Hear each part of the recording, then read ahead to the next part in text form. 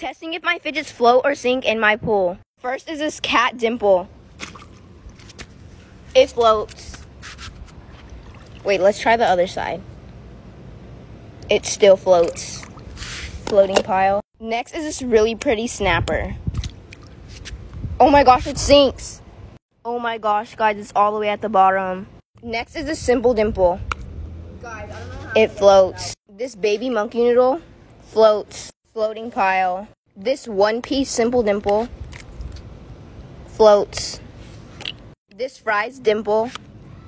It floats. Let's try the other side. It floats.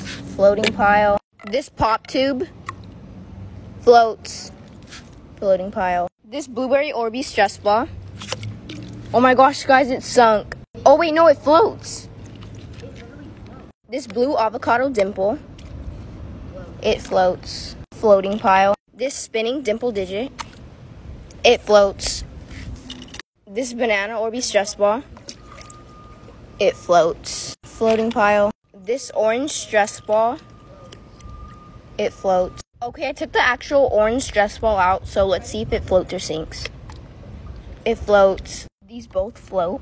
This moon dimple. It floats again. So far, they all float. This rubber simple dimple.